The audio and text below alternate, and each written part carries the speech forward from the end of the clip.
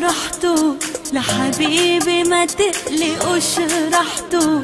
أمانة لو في يوم رحته لحبيبي ما تقلقوش رحتوا